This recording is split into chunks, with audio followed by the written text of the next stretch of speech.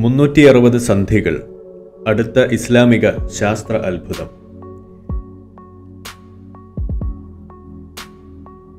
കഴിഞ്ഞ കുറച്ച് ദിവസങ്ങളായി ഞാനിടുന്ന മിക്ക പോസ്റ്റുകളുടെയും വീഡിയോകളുടെയും എല്ലാം അടിയിൽ മനുഷ്യ ശരീരത്തിൽ മുന്നൂറ്റി അറുപത് സന്ധികളുണ്ട് എന്ന ഒരു ഹദീസ് കമന്റായി വിതറിക്കൊണ്ട് ചില വിശ്വാസികൾ കറങ്ങി നടപ്പുണ്ട്. എന്തായിരിക്കും ആ ഹദീസ് എങ്ങനെ വാരി വിതറി ഒട്ടിച്ചു നടക്കുന്നതിന്റെ ചേതോവികാരം? നിങ്ങൾ എപ്പോഴെങ്കിലും ചിന്തിച്ചു നോക്കിയിട്ടുണ്ടോ? അതാണ് ഇവിടെ വിശദമാക്കുവാൻ ഉദ്ദേശിക്കുന്നത്. ഇസ്ലാമിൽ പ്രത്യേകിച്ച് ഖുർആാനിൽ അള്ളാഹുവിന് ഒരു വിചിത്ര വിനോദമുണ്ട്. അത് എന്താണെന്ന് പറയാം.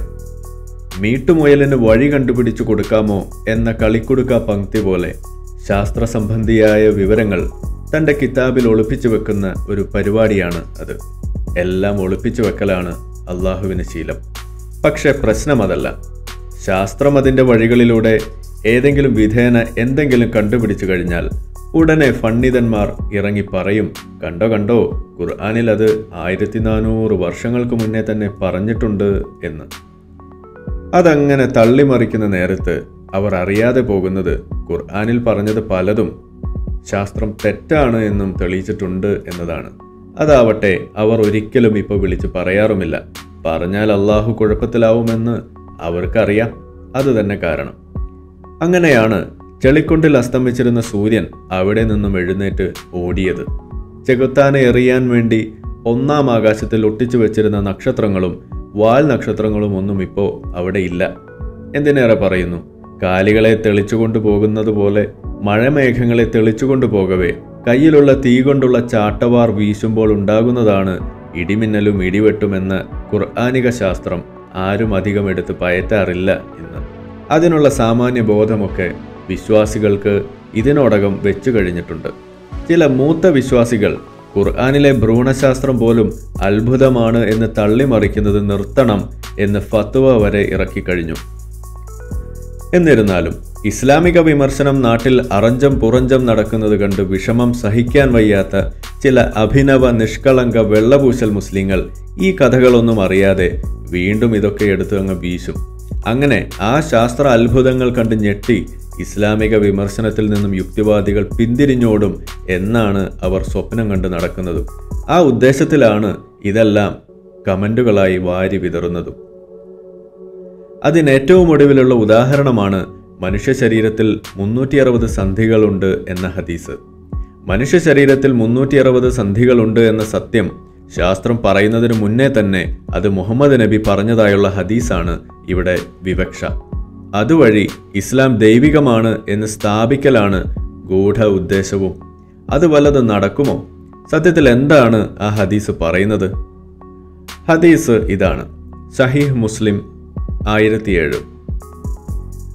Aisha reported Allah's messenger as saying, Every one of the children of Adam has been created with 360 joints. So he who declares the glory of Allah, praises Allah, declares Allah to be one, glorifies Allah, and seeks forgiveness from Allah, and removes stone or thorn or bone from people's path, and enjoins what is good and forbids from evil, to the number of those 360 joints, will walk that day having saved himself from the fire. Aisha പറഞ്ഞു ആദാമിന്റെ മക്കളിൽ ഓരോരുത്തരും മുന്നൂറ്റി അറുപത് സന്ധികളോടെയാണ് സൃഷ്ടിക്കപ്പെട്ടിരിക്കുന്നത്. അതിനാൽ അള്ളാഹുവിന്റെ മഹത്വം പ്രഖ്യാപിക്കുകയും അള്ളാഹുവിനെ സ്തുതിക്കുകയും അള്ളാഹുവിനെ ഏകനായി പ്രഖ്യാപിക്കുകയും അള്ളാഹുവിനെ മഹത്വപ്പെടുത്തുകയും അള്ളാഹുവിൽ നിന്ന് പാപമോചനം തേടുകയും ആളുകളുടെ വഴിയിൽ നിന്ന് കല്ല് മുള്ള് അസ്ഥി എന്നിവ നീക്കം ചെയ്യുകയും നന്മ കൽപ്പിക്കുകയും തിന്മയിൽ നിന്ന് വിലക്കുകയും ചെയ്യുന്നവൻ ആ മുന്നൂറ്റി അറുപത് സന്ധികളുടെ എണ്ണം വരെ നരകാഗ്നിയിൽ നിന്ന് സ്വയം രക്ഷിച്ച് അന്ന് നടക്കും. ആ മുന്നൂറ്റി അറുപത് എന്ന സംഖ്യ സൂചിപ്പിച്ചിരിക്കുന്ന ഹദീസാണ് നമ്മളിവിടെ കണ്ടത്. ഇത് എന്തിനെയാണ് സൂചിപ്പിച്ചിരിക്കുന്നത്? സന്ധികളെ തന്നെയാണോ? ആണെങ്കിൽ സന്ധികളുടെ ആ സംഖ്യ അതിനു മുന്നേ ആരെങ്കിലും പറഞ്ഞു വെച്ചിട്ടുണ്ടോ? അങ്ങനെ അതുവരേക്കും ആരും പറഞ്ഞു വെച്ചിട്ടില്ല എങ്കിൽ അങ്ങനെ ആവുമ്പോഴല്ലേ അതൊരു അത്ഭുതമാവുകയുള്ളൂ.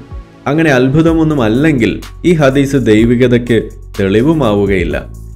ശരി നമുക്ക് വിശദമായി പരിശോധിക്കാം. ആദ്യം അത് അസ്ഥികളുടെ സന്ധികളെ തന്നെയാണോ ഉദ്ദേശിച്ചിരിക്കുന്നത് എന്ന് നോക്കാം.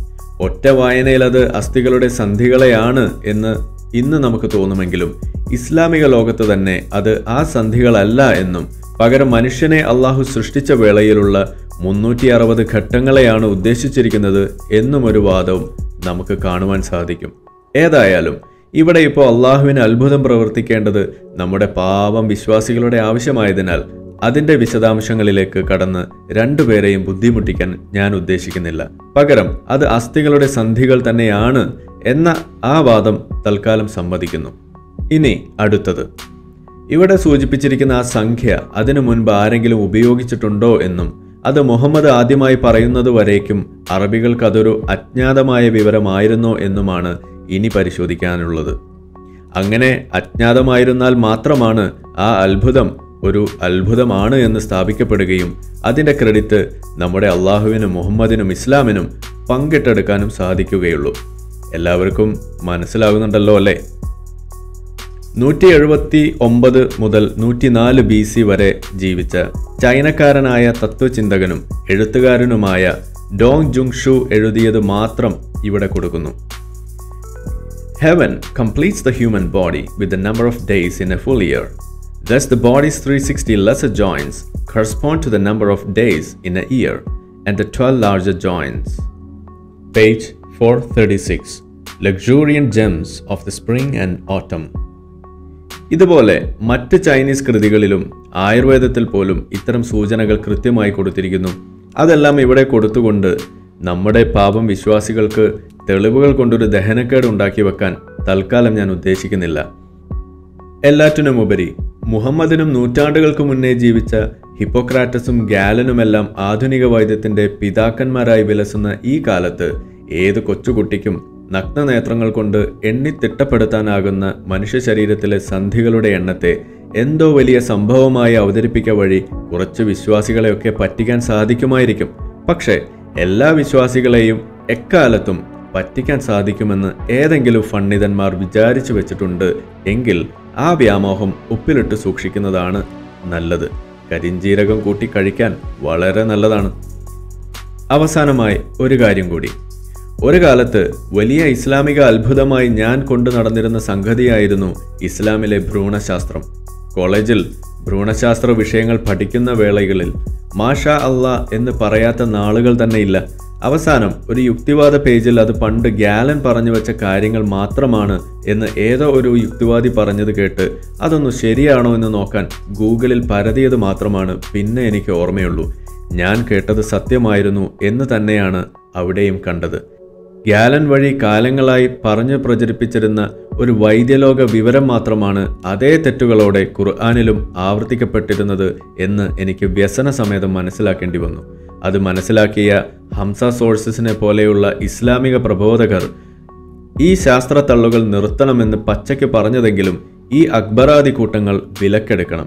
എടുത്താൽ ആളുകൾ ഇസ്ലാമിൽ നിന്ന് കൊഴിയുന്നതിന്റെ ആക്കം അല്പമെങ്കിലും നമുക്ക് കുറയ്ക്കാൻ സാധിക്കും. വേണമെങ്കിൽ മതി. ഏതായാലും ഒരു തനി മദ്രസ പൊട്ടനായിരുന്ന എനിക്ക് ഇന്നിപ്പോൾ നിങ്ങളുടെ മുന്നിൽ അഭിമാനപൂർവം ഇതെല്ലാം വിളിച്ചു പറയുന്ന ഒരു എക്സ് മദ്രസ പൊട്ടനായി മാറാൻ സാധിച്ചിട്ടുണ്ട് എങ്കിൽ അത് നിങ്ങൾക്കും സാധിക്കും. അതിനു പക്ഷേ ശ്രമിക്കണം ആത്മാർത്ഥമായി. ഒരിക്കലെങ്കിലും ഒരിക്കലെങ്കിലും ഒരിക്കലെങ്കിലും ഒരിക്കലെങ്കിലും ഒരിക്കലെങ്കിലും.